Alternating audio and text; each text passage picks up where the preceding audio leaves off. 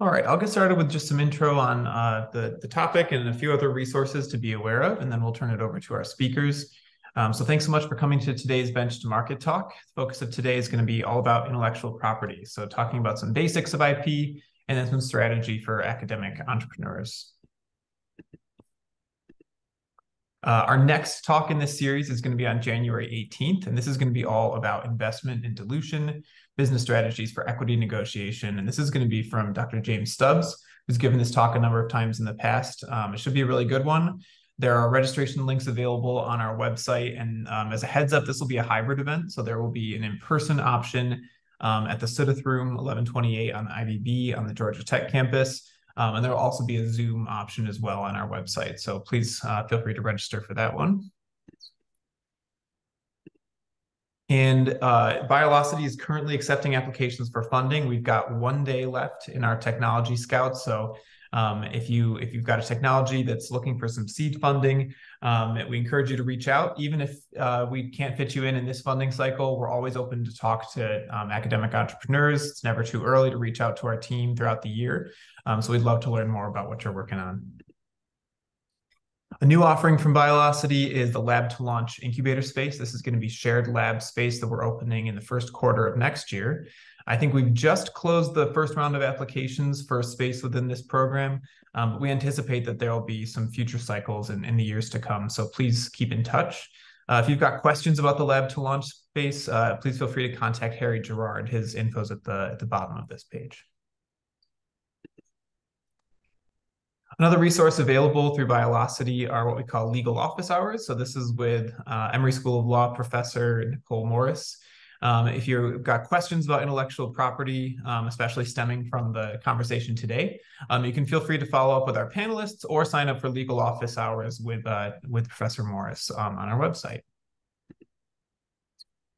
Biolocity is also part of the BARDA Drive Accelerator Network, and this allows us to expand our reach beyond just the Georgia Tech and Emory ecosystem.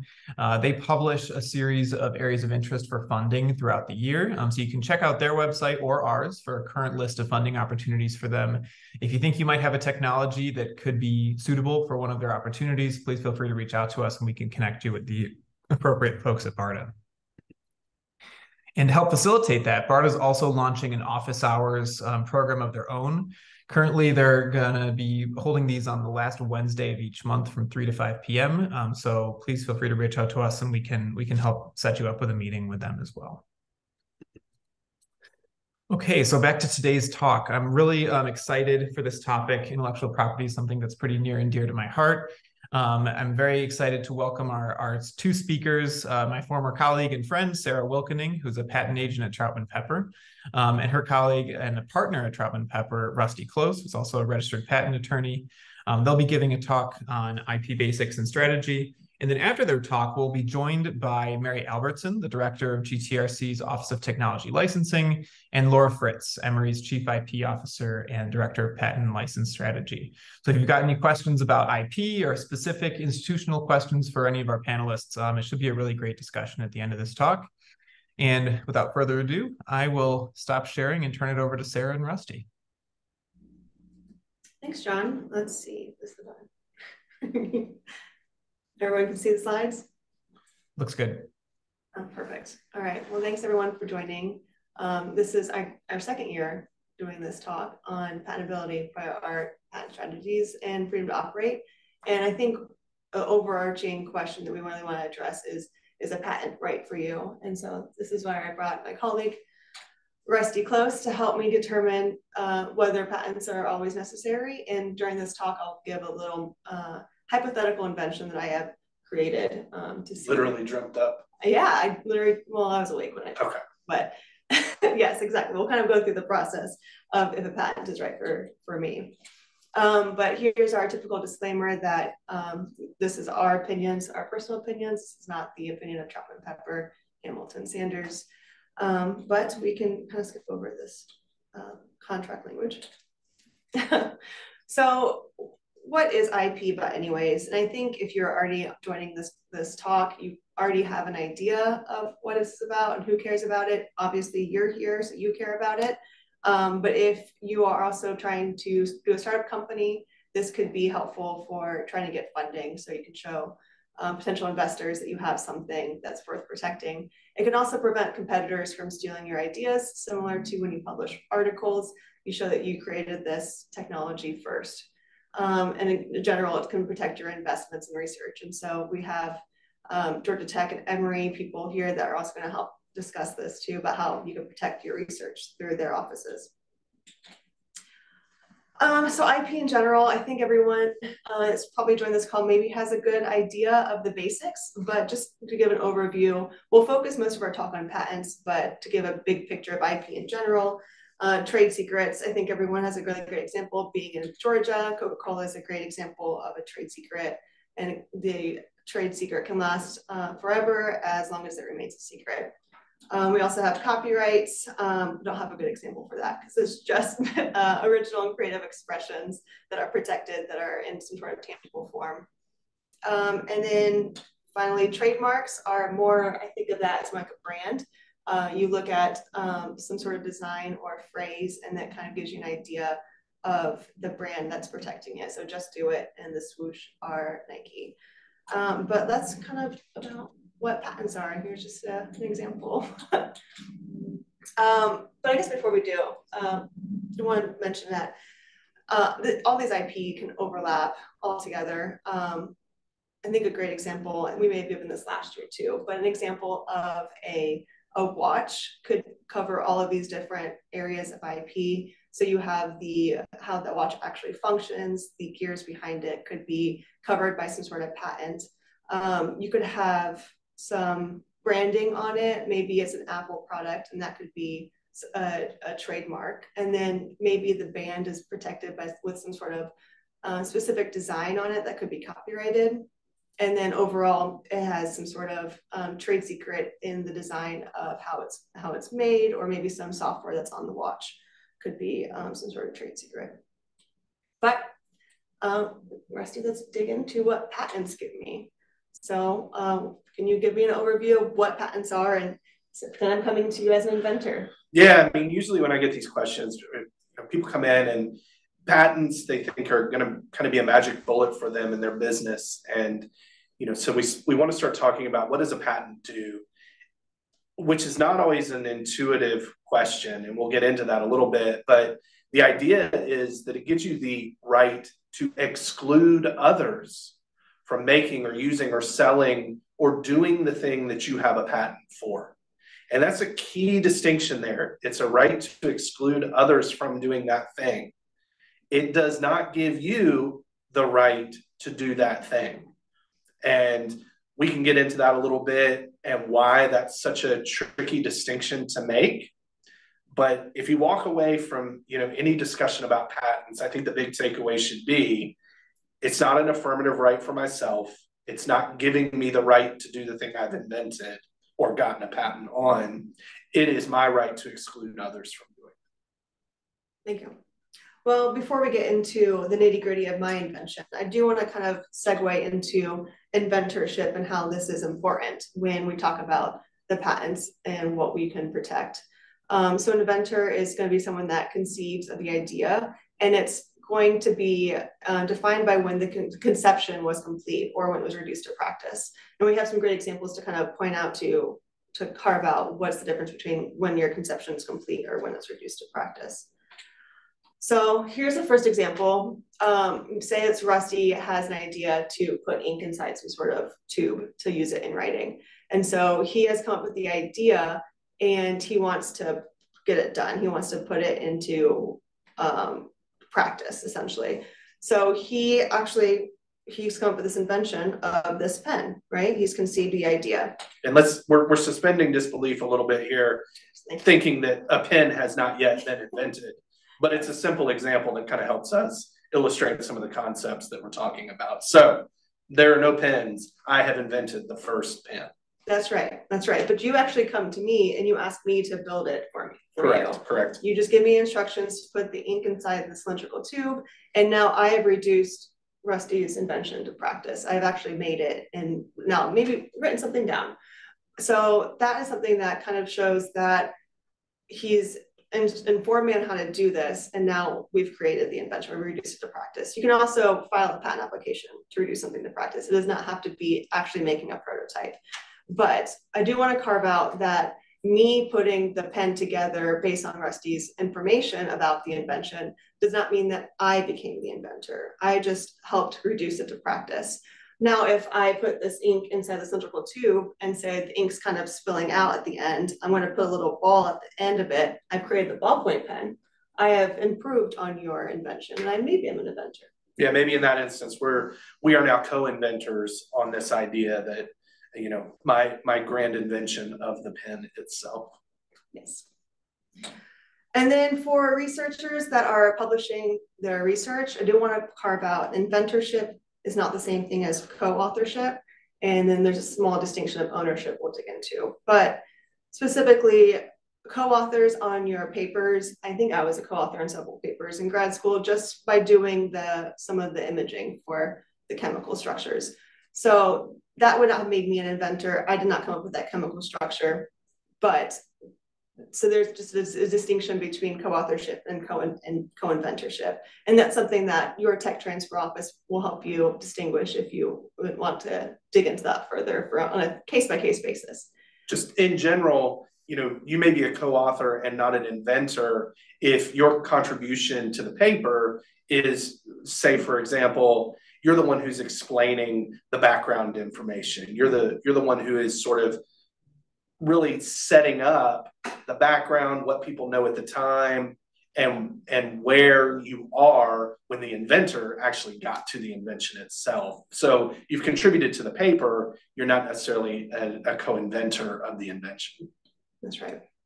And then digging even deeper, ownership can be something that is set forth in some sort of employment contract. It might be something that you signed when you started working, an IP assignment.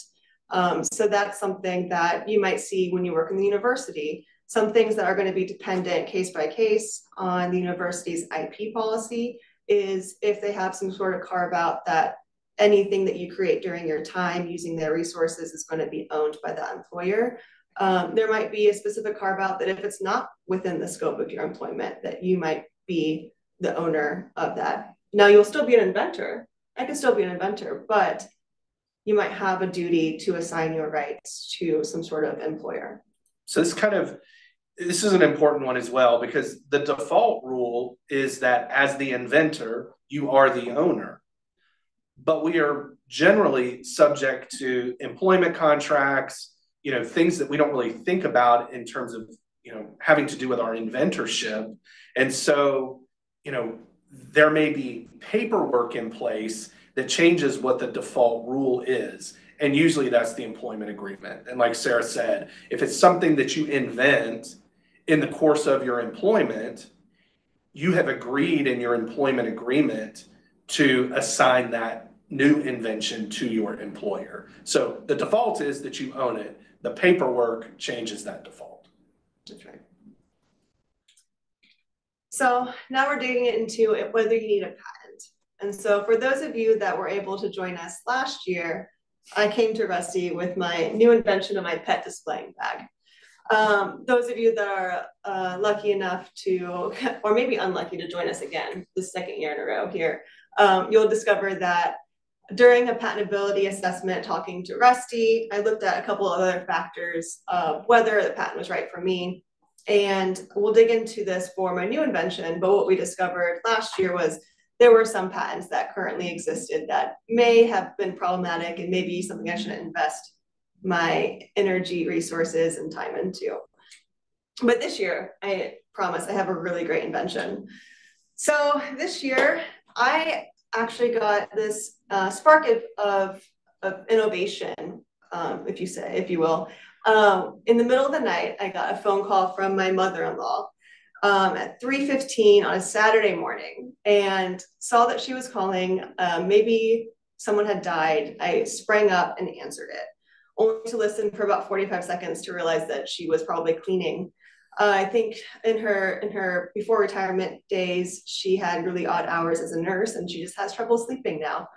So I hung up and uh, wanted to text some rude message, but again, I just decided to come up with this invention instead. Instead of going back to sleep, I came up with how I could have protected my sleep by having some sort of potential butt dialer protection. Now, I wanted this invention to protect me, the recipient of the phone call, and alert me that the caller was potentially butt dialing me. Um, so my invention incorporates a couple of ideas because you, your phone always has the ability to have a GPS locator on it, and it probably has some sort of gyroscope connected into it. And so I could probably have it established that the caller, whenever they're about to make a phone call, it will determine if they are standing or sitting. It can determine if the orientation of the phone is facing downward, maybe in a pocket. And it can determine if it's connected to Bluetooth. Maybe they're on the call uh, are in the car or they have a pair of headphones connected. So I wanted to, to determine all these things from the caller and then give me an alert on my phone, determine that within the split second they make the call and silence my phone. So I don't get the vibration or any uh, alarms or noises that the call's coming through. So I'm going to come to you and ask if my patent, if this invention is going to be patentable. And I'm probably gonna wish I had this on my phone and I could treat this call where you bring this invention to me as a butt dial and ignore it. But for the purpose of the discussion, let's talk through. Okay, you have this idea, you you have thought it through a little bit. It's more than just I wish I had some technology to tell me if there had been a butt dial. You've actually thought through well, how would we technically implement that? We need to get some information from the dialer's phone, and there are sensors on the phone. So you've you've given some thought to it. So there is some sort of conception there. It hasn't been reduced to practice, but it is a le- it is at least more than just an idea. You know, the, the classic example being, I invented you know a rocket ship to Mars. Okay, well, how do you implement it? Oh, well, I don't know, that's for somebody else to come up with. I invented the idea of it, and that's not how it works. So you're thinking about the sensors and using the information from them, all of those things, all of those being good questions. So, what are some things we can consider now that you've brought this idea to me? And one of them that you have up there is well, should we do a patentability assessment? And going back to the idea from last year of the pet displaying carrier, that's sort of where we realized, and eh, maybe this isn't worth pursuing because there are other things already out there that are similar to what you have ostensibly invented. So, a patentability assessment would be taking a look at what we call prior art. So, in this context, it's really anything out there that's publicly available. It's not just patents or patent applications. It can be magazines, it could be journal articles, it could be catalogs. It's it is truly anything that is publicly available. And we're looking to see if anyone has invented this same thing. Have they have they disclosed this idea? Because when you file a patent application, the patent examiner is going to do that same thing. They're going to look in the prior art, anything that's publicly available, and make a determination of whether or not this thing has been invented. Mm-hmm. So there are some challenges there because one, the ocean of prior art is so vast that there's no way you can really find everything. And of course, time is money. So it's going to take us time to to do the research to look and see if this stuff is out there I can do it. I can I can search around and poke around. We can hire a professional searcher to do the same thing. But either way you cut it, we're going to start spending money before you've even gotten this thing off the ground. The other concern is when that patent examiner starts looking for your idea, he or she doesn't have to find your exact idea. They can find something that is close to your idea and something else that is close to your idea, and they can piece those things together. And so they can combine prior art references to arrive at your same invention and say that one of skill in the art who found this, it would have been obvious to them to also find this and combine the ideas. And so the challenge with a patentability assessment is you can't ever anticipate what an examiner might start combining. And so a lot of times what I end up advising people of is sure, let's poke around quickly, And if we don't find your exact idea within about an hour, let's just move forward with it. If you think, you know, that there's at least interest in pursuing a patent application, in part because you're going to pay the patent office to do their own patentability assessment. And I cannot tell you how many times people have said, no, no, we really want to do a search. We're really interested in seeing what else is out there. We bring back things that are pretty spot on and pretty close. And the, the client, the inventor goes, no, no, ours is different. Let's move forward. And we could have just saved them the four or five thousand dollars that they spent on this patentability assessment and used that money elsewhere. So it is an option. It is something you yourself should do. And I think we'll give you some resources on how you can do your own patentability assessment. I may have done that in here. Yeah. Yeah. I did my own patentability assessment for this. And then at least you know what's out there and you've got a sense of whether or not this is worth pursuing. But it's not always the thing that I would recommend, only because you're going to pay the patent office to do the same thing. That's right. But we need to dig into the requirements for this invention Let's or go. any invention Sure. for patentability. So you kind of already hit on all of these. Some of them, yeah. So there's there's different categories that we have to uh, to meet when we present something to the patent office. One is our idea actual patentable subject matter, and this is what we call you know this section 101. And so there are things you know for years and years and years this wasn't a big deal, and then they started trying to figure out how to deal with software, and then section 101 became a big you know a big problem for us. And the general idea is you know, if it's an abstract idea, and Sarah's may fall into that, it may not be patentable subject matter. And so, you know, if it's I something that I would just classify broadly as data in, data out, right? So there's information from sensors, that information is being analyzed, and an alert is given, data in, data out. It may not rise, you know, to the level of being patentable subject matter. But then in the life sciences space, Yeah. there's also patentable subject matter concerns. That's right. Uh, natural phenomenon are issues uh, that are not going to be patentable, like isolated DNA or even Dolly, the cloned sheep. Um, but if you're able to go after different areas of life sciences, as in something you've manipulated, or um, different ways of of treating those types of uh, nat- or natural phenomena that aren't aren't patentable, but can manipulate it in a different way to, that transforms it, it might be something that could be I would say high level takeaway if if your invention is software enabled, talk to your patent attorney about hey, is this even patentable subject matter? If it's on the life sciences side, you're going to have some questions about that as well. If it's a traditional widget, if it's a thing, if it's my ingenious ballpoint pen, this is not going to be a concern for you. What if it's not useful?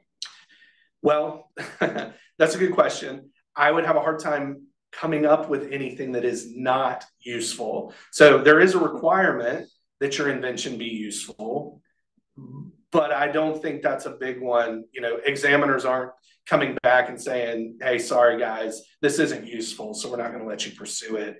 We've got some examples here of a, you know, a watch for a dog or a keg that you wear on your head. Um, really and truly, anything that you're willing to pursue will be viewed as useful. Even my my booty call Even even that silly idea, yes. novelty. So we touched on novelty, right? And so one of this this is what we say falls under 102.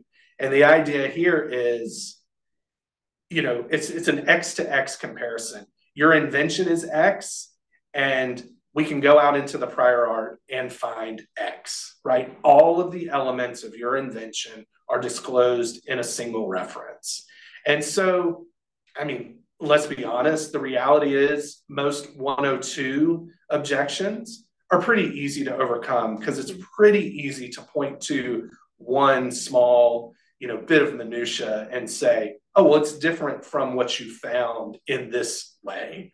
But the idea is your invention has to be new, it has to have novelty. in the last little bit.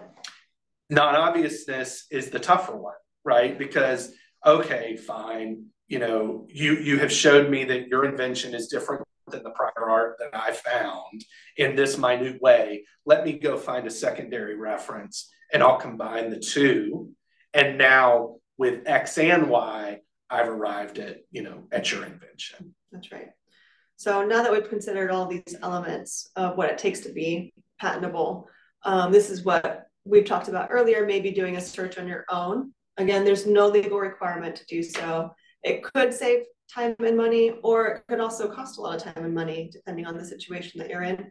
And it could find some uh, prior art that is relevant that could help you if you're in the research space still and designing. You could maybe work around what you found in the prior art. That's right. If you're if you're really keen on getting a patent and you identify some prior art in in this stage, you know, okay, well, I know that this is something that the examiner is going to consider. I need to distinguish myself from it in some way.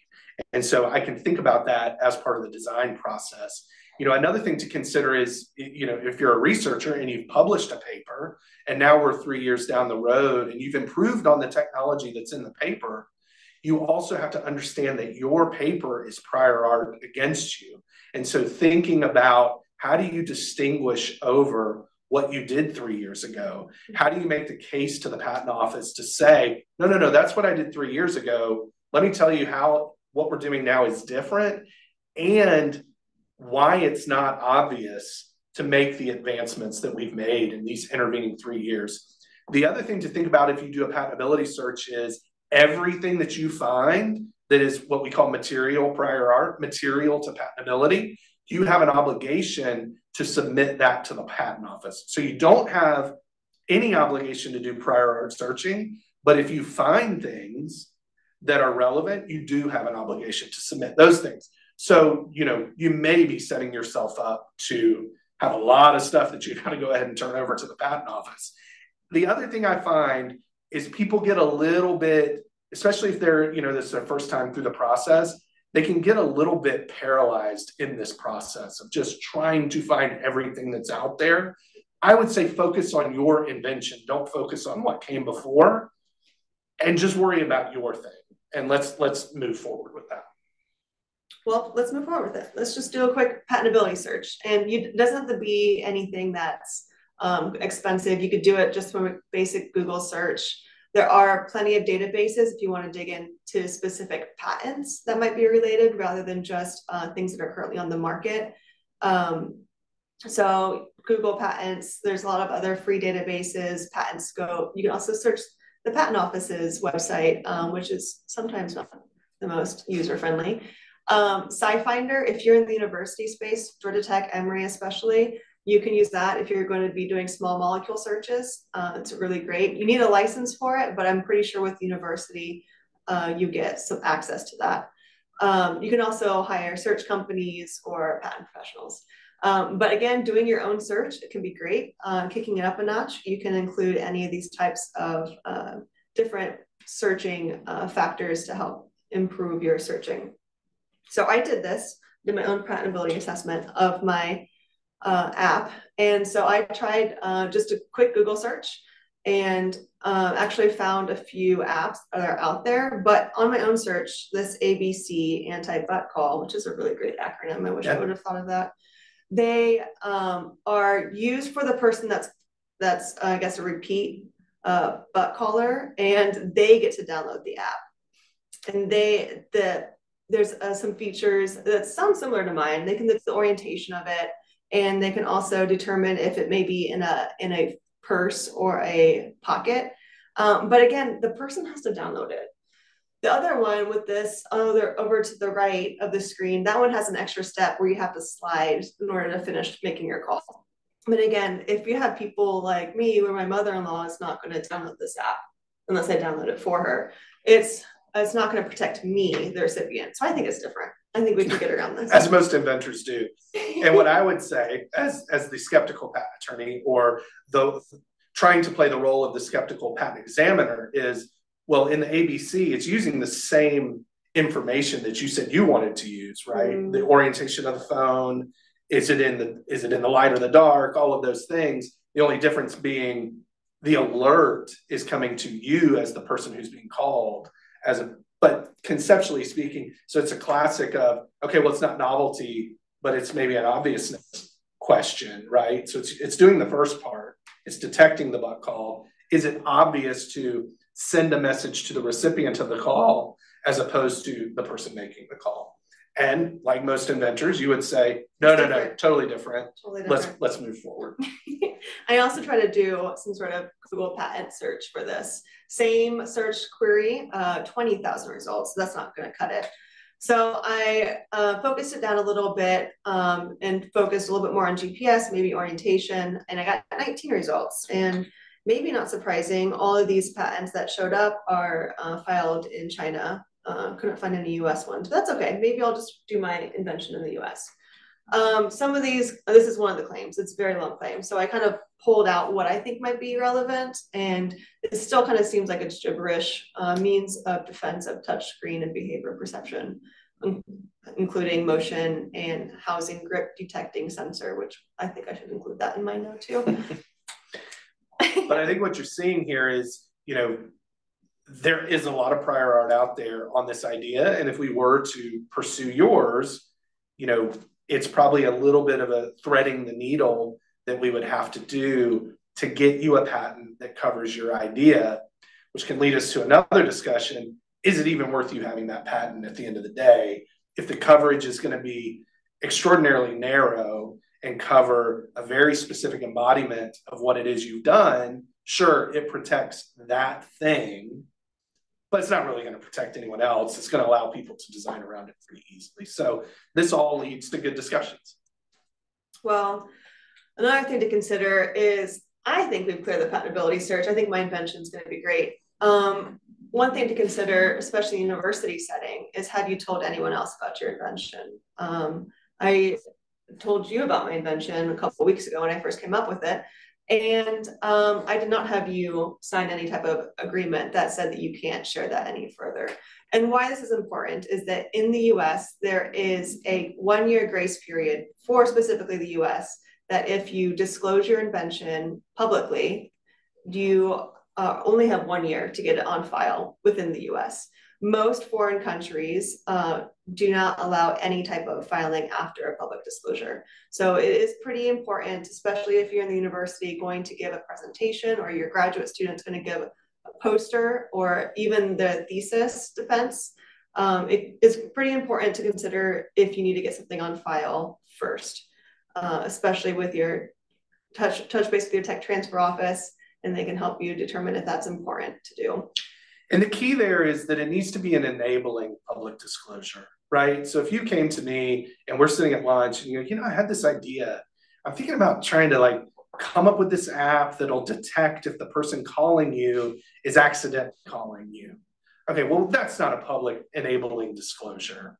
And you know, the other thing to think of is practically speaking, how in the world would anyone know that we had that conversation, right? Because we're talking about a patent examiner he can't come and find that that discussion happened. Let's say that you, in this strange universe, you did patent this invention, you built a business around it, and it became just gangbusters valuable. That's right. And then I say, wait a minute, I remember we talked about that. You shouldn't have gotten that patent. You know, you publicly disclosed that to me. You know, we're kind of playing out some strange thread there as well. so, you know, think practically, practically. Don't don't feel like, oh my God, I can't ever talk about my idea because of this thing that Rusty and Sarah said.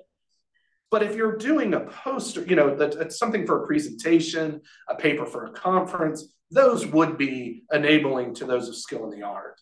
General discussions in office hours with a patent attorney, you know, there, there's a sliding scale there. So just don't don't feel like your lips have to be sealed at all times.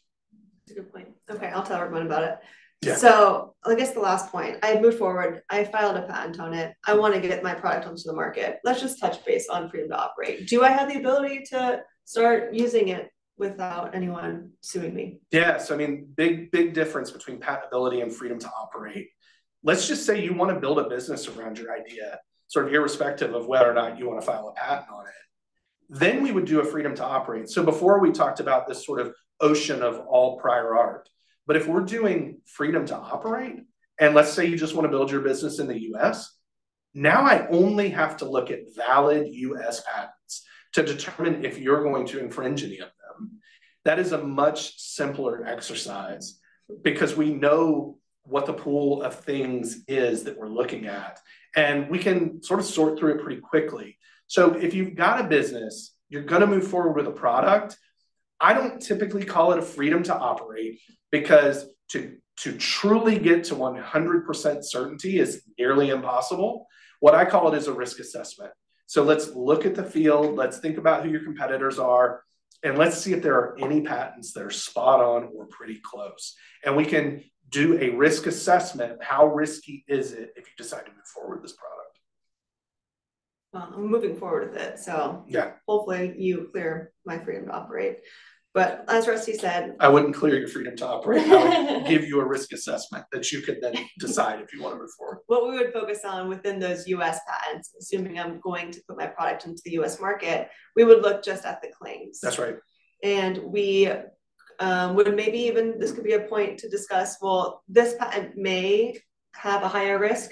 So you could design your app around it to hopefully get around what is uh, in those claims. If you found, yeah, if we found something that was spot on, that we thought, hey, this this puts the red alert up a little bit, and if you still want to move forward, and you're still in the sort of design phase, this is a good example of okay, well, just do this instead of this. You'll get the same practical effect, but you won't infringe this patent that we found. But even in the worst case scenario, I cannot change the design of my app. Is there any way that I could potentially still? We found a patent that's spot on your app is going to infringe it, it cannot be designed around, then what we start looking at is should this patent have ever been granted in the first place? And so we start looking at sort of invalidity options. Yes, the examiner granted it. The examiner shouldn't have granted it either because he or she missed a lot of prior art that was out there. The claims are sort of unintelligible. There's there's you know sort of grammatical errors or terms that don't match up in the claims there are plenty of reasons to not shut down your business just because we found a patent that's sort of spot on. I think that I think talking to an attorney is the way to to go on that route. Yeah, for sure. And I think that's that brings us to the conclusion of, of my invention and my patentability.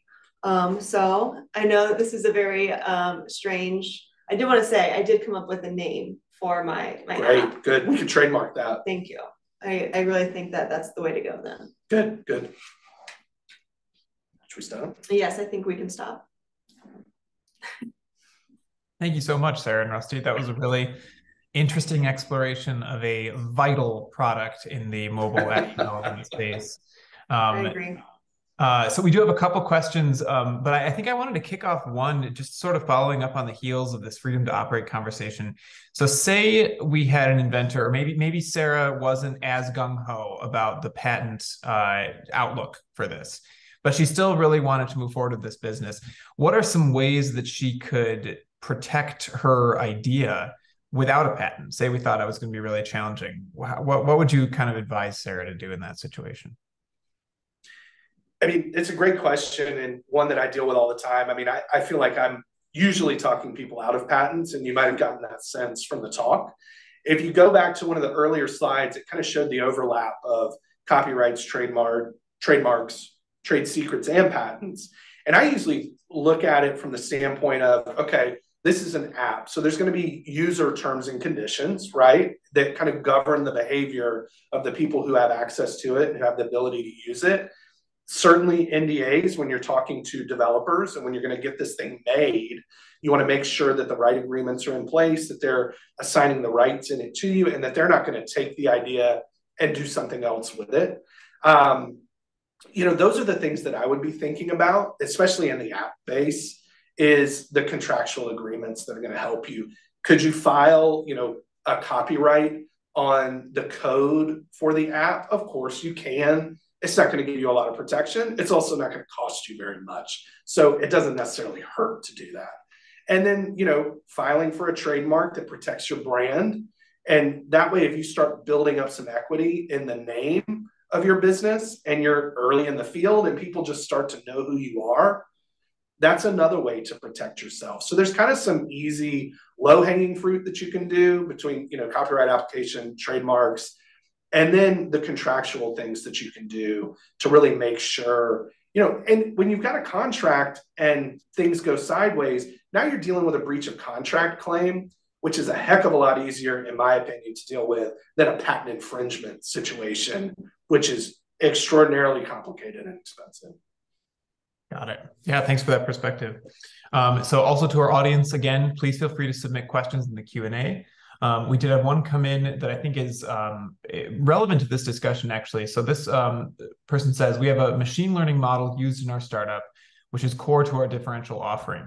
Do we need to patent it? And if so, how? Um, so I'd love to turn to some of uh, the representatives from our tech transfer offices, because I feel like we're seeing more and more machine learning, artificial intelligence technologies. Um, what is your perspective on, on this question? Hi, everybody. Uh, I'll I'll take this one, uh, or at least take a stab at it first. So we're seeing, we at Emory are seeing a lot more AI technologies come through our office. It's not only has it been an emphasis for the university to go out and hire some preeminent AI faculty and researchers to come into the university, but also just it's it's uh, it's become a very active area of research for the existing faculty on our campus, even in some su surprising spaces. Uh, we have tried very hard to identify where we can uh, file patent applications on our AI technologies. Uh, I, you know, it's it's not you can't always protect it, but where we can, we have tried hard to move forward with the patent applications. Um, it, it, puts the it, it, definitely puts the university in a stronger space, at least in our view. Um, so instead of just relying on the copyright, we're also trying to move forward with the patent applications. And I I would totally second that. It's a little bit frustrating because it is such a hot area and there are a lot of potential licensees out there and if it doesn't look good for filing a patent, it's less attractive to license. But I would say um, when I was at Stanford, we made a fair amount of money, a lot of licenses off of software, just copyright. So it's possible. It depends on the invention, but definitely um, patents aren't always the way you can go. That makes sense. We've been getting it. Totally, oh, I'm oh. so sorry. No, so Mary, I was just going to say it's a it's an interesting push from our faculty members. We're getting them earlier they hadn't been pushing so hard to get the patent applications filed on their software but now we're seeing them push pretty hard for it as well. Um, and it's been an interesting transition an interesting change of perspective from our faculty members. It it is interesting and with i'm not i'm not a patent agent or a patent attorney. I've been doing this for 28 years but i don't know all the ins and outs of trying to patent some kind of ai so I look for advice. We have a patent agent in house who knows a lot about software, and I talk to him about it. Um, but our inventors are pushing it to getting software patented. And what I was going to say is, you know, there's there's sort of two different ideas there. I think the original question said we're using AI as part of our model that from my perspective and you know from what i've seen is more difficult to protect right? That is truly it is in, it is terribly complex and truly innovative but from the patent office's perspective again it's data in data out. And so when we talk about that 101 question eligible subject matter we have an uphill battle there. If on the other hand you're truly improving the way that ai functions right? You're not using AI for your application. Your invention is new types of AI, new types of you know deep learning models, that type of thing. You have a you're improving existing technology, so you have a little bit easier case. In that first one, though, what I always caution is, let's say that you can get a patent. Uh, it's it's you get over that abstract idea question. What you're often going to have to do is put so much detail into the application about your algorithm I always give the example of you're giving someone the entire recipe and ingredients to your cake. And at the end of the day, you have a patent that covers the method to bake that exact cake. But if now that I've got your recipe and the ingredients, I can make a couple of tweaks, right? I can change out sugar, I can put in honey, whatever it might be. And now I don't infringe your patent that you spent all this time and money to get. And I know exactly how to do all of this thing that you spent all this time, money, and research coming up with. So I think that's the risk that you have to weigh.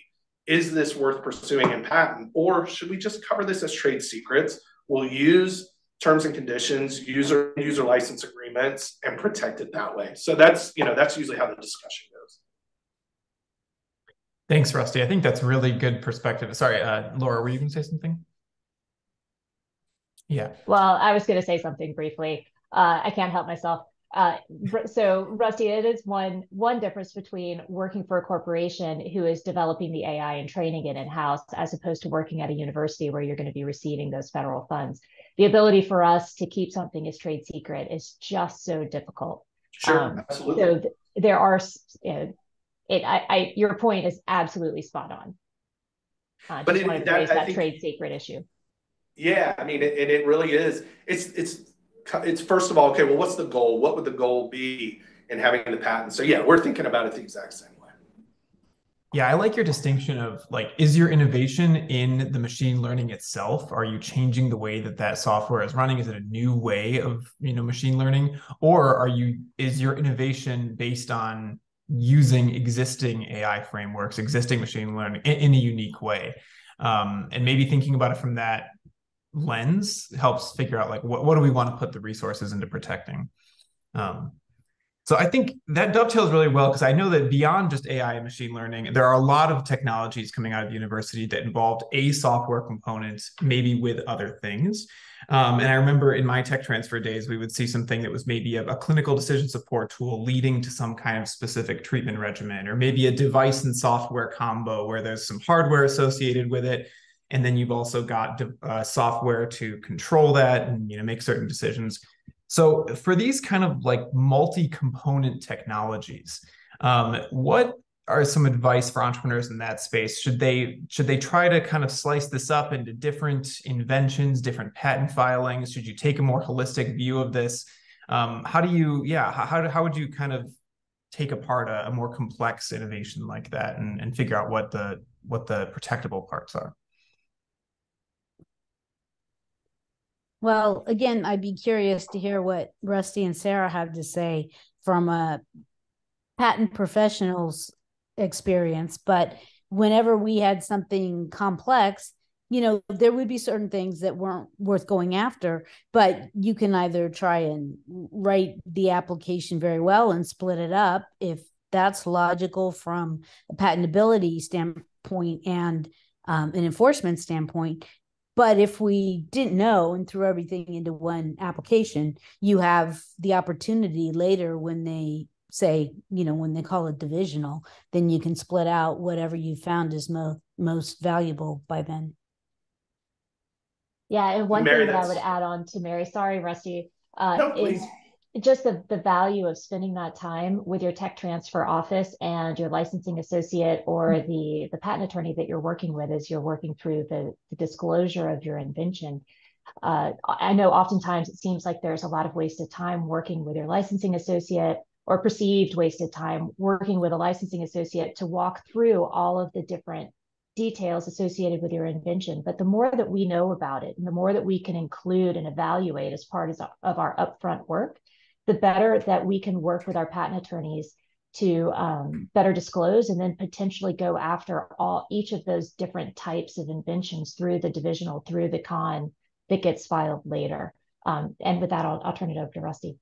Oh no you're both you're both spot on. I mean you know there's there's so many times that the inventors are thinking of you know i always give the example of like salesforce or amazon or something like that where it's just this grand ecosystem of things that can be done let's start breaking that down and, and let's start making a list of sort of the inventive concepts.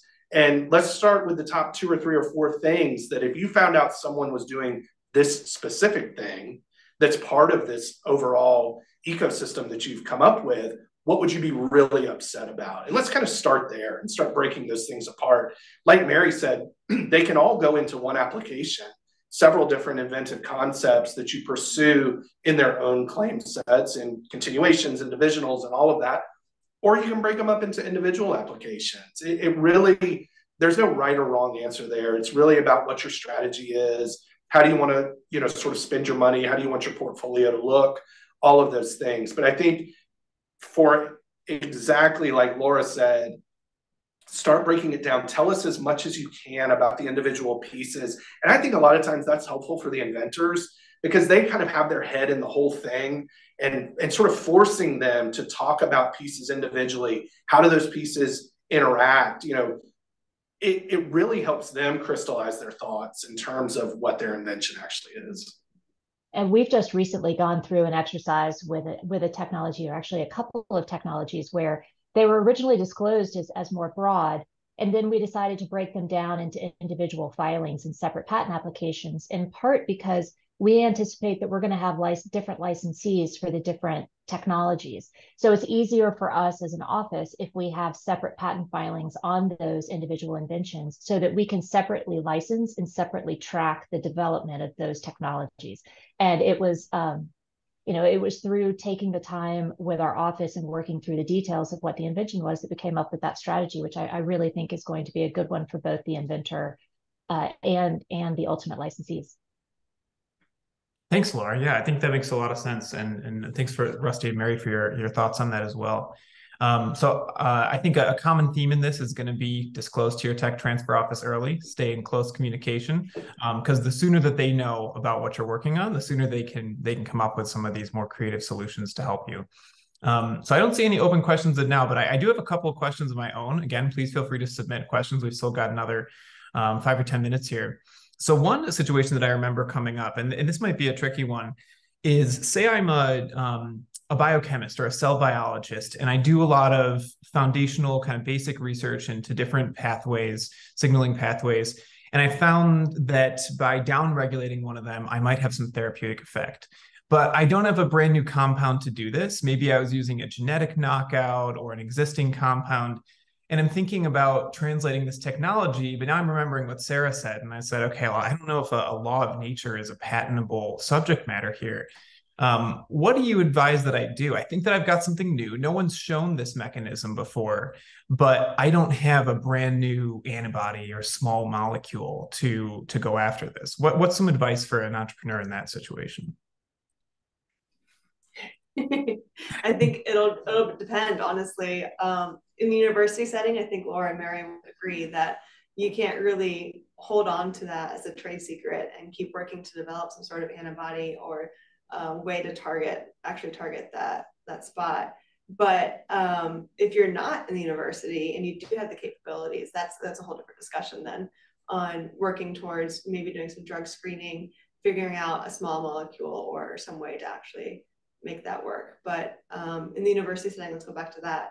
Um, and you're right. Like if it's merely just a, a natural phenomenon that you've discovered, a, a, a, gene that could be targeted to turn off something, you, you might need a little bit more. Like Rusty said, the data in, data out. You need to start transforming it. You need to have some sort of way to manipulate that and transform it. But it's going to be fact fact specific on what your invention really is. Thanks, Sarah. Uh, one other thing that you can do in a university setting is you could look for a potential collaborator. Uh, we at Emory are very fortunate that we have a lot of really great uh, drug developers. We have a lot of really great chemists. So maybe there's somebody within the university that you could collaborate with and take them your idea and see if you can't find that next uh, blockbuster drug to treat whichever you know, to to create the next big treatment. Thanks. Yeah, and I'll put in a shameless plug for Biolocity here as well. This is a, a, situation that that we work with a lot. So if you've got some kind of basic research and you're looking for what that next step is, or hoping to be introduced to collaborators who could help do some medicinal chemistry or whatever, um, please reach out to us because we'd be happy to brainstorm with you as well. Well done, well done, John. All right. Um, so I think maybe following up on that, another sort of general question that, that might be relevant for our academic audience you know, as academics, as researchers, they've got a uh, prerogative to publish and to share their results with the world. And we just heard in this presentation, there's some liabilities there on the IP side of things because you don't want to sort of become your own prior art or publish before you you file a patent application. So I think it's a common tension if you're working as a as an academic academic who's hoping to to you know commercialize your technology. Um, this might be a little open ended, but what are some ways? Um, and I, I guess I'm, I'm, looking at the, the tech transfer folks here. How do you propose that they maybe resolve this tension or, or, or yeah, move forward with this? Um, for for us right now, especially, a lot of it has to be education, um, and then hopefully word of mouth from them, and they learn the hard way but i have to tell you even with education i'm going out and doing you know brown bag lunches so people can know who we are what we do what is ip and you know what is patenting and all those things. I have a slide that says you know, when do you come to us? And in big letters, it says before you publish. and then I have a slide, you know, that says enabling disclosure. And what does that mean? And what are all the ways you do that? And then somebody came up to me afterwards and said, So after I publish, I come to you and make a disclosure. And I was like, Oh my goodness, you know. And I don't have that many slides and they're not text dense and I talk most of the time. So yes, education for us is a big deal, and learning the hard way. Um, and then there's word of mouth. I, th- if there's a better way, I'm dying to hear what it is. We're always trying to work with our faculty members as best as we can to get those invention disclosures early and to get them with the uh, the expected publication date. Uh, we file a good number of cover sheet provisionals in our office. We file a lot more than I would like. Um, they're dangerous filings in just that people think that they have a patent application that is going to protect them and is going to give them full protection for whatever it is that they disclose. Uh, so if say that you you send in or you use as your invention disclosure a, a poster and it has some information, but then you give a presentation associated with your poster and you go significantly beyond just what's in that poster that can create some real problems for our office and for us to be able to protect what your core invention is if you disclose it through that publication, but is not actually in that poster. Um, so I think that the cover sheet provisional can be such a dangerous uh, can be such a dangerous thing because the faculty members do believe that they have the protections that they need. Um, but if if you had possibly disclosed it to the office a, a bit earlier, and maybe we could have gotten maybe not a full provisional prepared, but maybe a uh, a, bit of a hybrid so that we could better protect what the core invention is before um, that public presentation had been made. And that's a really good point. I don't like cover sheets at all. We file them when somebody's desperate and they really are pushing. But that was part of my education wasn't just come to us, you know, before you publish. It was come to us two months before you publish. So we have time to do what we need to do and then investigate and then have the patent attorney actually have time to write an application. But if they don't even remember that they're supposed to come up, come to us before publication, they're not going to pay attention to come to us two months before. Yeah, that's a great point. Um, and once again, common theme: talk to your tech transfer office early. um, because a cover sheet provisional is not the same thing as a fully drafted provisional application. That's not the same thing as a non-provisional application, and that's not the same thing as an issued patent. So each of those kind of has its own steps, and your tech transfer office can can definitely walk you through those. So we've got just a, a couple of minutes left. We did get one more question in. Um, so this is a, question specific to a, a particular piece of technology. This person asks, um, how do you handle a new, simple interview-based measure that you may use to assess whether a medication is working? So it sounds like maybe some kind of a survey or interview tool um, for medication efficacy. Um, and then they say, what if what if you develop an app based on this for clinicians or pharma companies? What would be some ways that um, that this person could maybe think about protecting that technology? It, yeah, oh, go ahead. I mean, I'd be I'd be glad to at least give my thoughts on it. It's it's tricky for sure. Um, you know, we have a lot of time, a lot of situations where, you know, hospitals will invest large amounts of dollars and times into you know protocols is kind of what I would think of them as. So you know what should a what should a nurse do when they enter a patient's room? Like what's the proper steps to go through, and really coming up with you know, verified results. This is the best way to do it. All of these things. At the end of the day, you've kind of got a list of steps for people to follow. And in that, in the patent world, in that abstract idea, it falls under this category of methods of organizing human behavior, right? And so that's not patentable subject matter. And then, okay, well, what if we put it into an app? Well, we're still in that sort of same realm of data in, data out, right? It's just a list, it's that same list of steps. And now they're just clicking on the app to confirm that they've done them. So it is challenging. At, you know, this is where we go back to is copyright the right way to do it? Obviously, it's not a trade secret. You're making it available. There are ways that you can sort of brand these things and sort of sell licenses to it if you build up enough equity in your name and in this program and then others can say that they're compliant with the thing that you've developed none of those are easy though and they all kind of take time and mary i'd love to hear your thoughts well i was going to say again this was at stanford but we had things that were just basically triage you know, a list of questions and a little tree. And mm-hmm. one of them we licensed like crazy because even though they couldn't use our name in publicity, they could make a statement of fact and they would say, you know, we got this from Stanford. And verbally, they could say whatever they want. We'll never know. So that had an cachet that um, they thought it was valuable. But you're right; it has to kind of branding. That's right.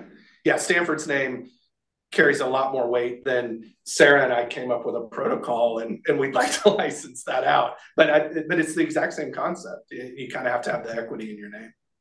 We had a uh, sorry, I just briefly yeah, we we at Emory have a questionnaire that has become the gold standard for quantifying what is typically a qualitative issue. So it's around dermatological uh, issues. So does something make you itch? And then a quantitative evaluation of where you are on that spectrum. And it's been clinically validated and has become the gold standard.